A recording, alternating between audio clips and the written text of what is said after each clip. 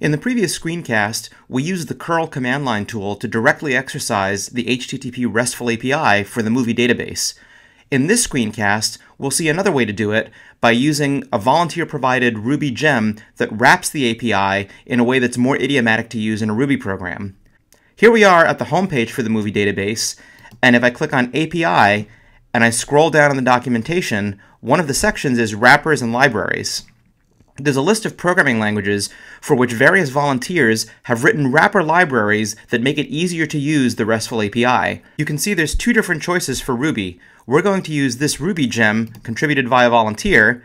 Clicking on the link takes us to its homepage on GitHub. As is pretty common for Ruby gems, the gem itself is hosted on rubygems.org, so that when you type gem install, you should be able to install it with no additional command line arguments. But the gem source code is available publicly on GitHub so that others can contribute. We're going to experiment with this gem directly from the IRB Ruby command line interpreter, but remember that if you wanted to use it in a Rails application, you would have to add it to the gem file, as the text in the book reminds us. Recall that in the RESTful API, we had to first sign up for an API key to include with every request, and then we would make requests and get back resources, like movies, in return. Similarly, the gem is structured along the same lines.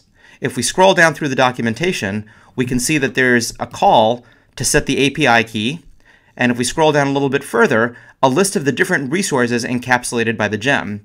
For example, the movie resource allows us to dereference all of these different attributes of a movie, which map directly to the attributes we saw in the JSON object when we experimented with the API using curl. What about the search method that we used to make our initial query? If we scroll down a little bit farther, we can see that the search method is in fact supported, but the way that we call it is a little bit different from how we use the raw API. Apparently, we have to create a new search object, then we have to indicate what type of resource we want to search for, we indicate the query string, and finally, we make the request.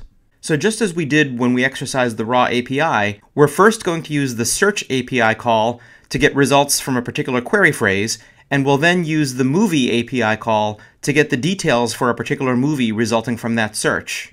The first thing to do is make sure that we have the gem properly installed. Of course, we only have to do this once, and in a Rails application, we would make sure the gem was added to the gem file. Once the gem is installed, we can fire up the Ruby interpreter and load the gem. We can follow the instructions in the API documentation and set my API key. Make sure you use your own API key if you're going to try to follow this example. Then, as indicated in the documentation, we can create a new search object, set the type of resource we want to search for, set the query terms that we want to search for, and issue a fetch request, which will actually call the real API. From the syntax, it looks like the result is an array, each of whose elements is a hash. And besides verifying that its class is array, more importantly, we can verify that it responds to each, so it's an enumerable collection. Can also verify that each element of this collection quacks like a hash. So just as we did in the curl example, we're going to look at the ID attribute of the first result returned, and we're going to call the movie detail method to get details about that movie.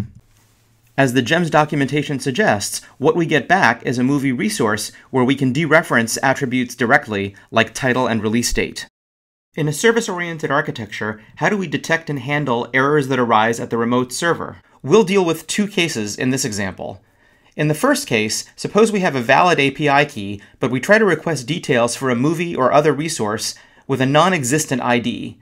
You can see that the result looks like a movie object, but its ID is nil. As we'll see in a moment, that's a tip-off that the call did not work as expected. But the other error case we can look at is what happens if we have an invalid API key and try to do a similar operation.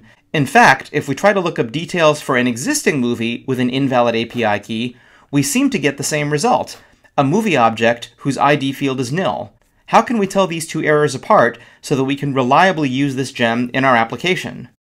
Since the GEMS documentation doesn't suggest that the gem raises exceptions when these problems occur, I actually dug into the GEM's source code. This gem uses another gem, HTTParty, to handle the underlying communication to the server. When you use that library, there's an underlying property, the API response, that encodes the actual response from the remote server. If we try to look up a valid movie resource, but we have an invalid API key, we get HTTP error 401, which means not authorized. When we look up an invalid ID, but we have a valid API key, we get HTTP error code 404, which means not found.